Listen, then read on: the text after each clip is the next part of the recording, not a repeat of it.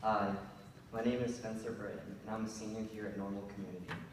My sister Kirbie was diagnosed with Ewing sarcoma bone cancer at age 8. On September 1st, 2008, at age 15, my sister Kirbie passed away following a heart transplant she had a year earlier.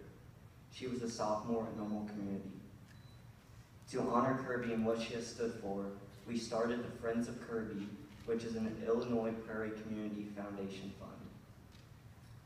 Our foundation awards a $1,000 scholarship to a student of each of the five high schools who have showed courage and determination in overcoming life's challenge.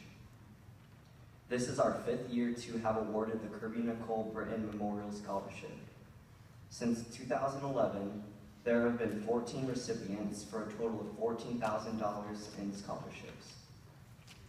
As I will be graduating this year, it is a privilege and an honor for me to be able to present this scholarship not only to my classmate, but to one of my friends.